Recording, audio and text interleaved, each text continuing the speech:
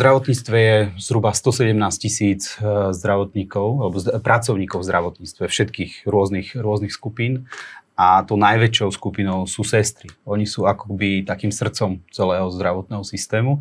Je ich zhruba 35 tisíc až tuším 37 tisíc e, sestier a mm, za mňa je to kľúčové. Ako pokiaľ sa nám nepodarí zastabilizovať stav sestier na Slovensku, tak nemôžeme hovoriť ani o žiadnych reformách, o, o zlepšovaní napríklad tej dlhodobej následnej paliatívnej starostlivosti, ani o zlepšovaní alebo skracovaní čakacích lehôd v nemocniciach to všetko so všetkým súvisí a ten personál, hlavne ten eh, personál a sestry sú extrémne dôležité. Len na porovnanie rok 2012 a rok 2019, čiže takmer za 10 rokov, je poklesol počet sestier do 40 rokov o 17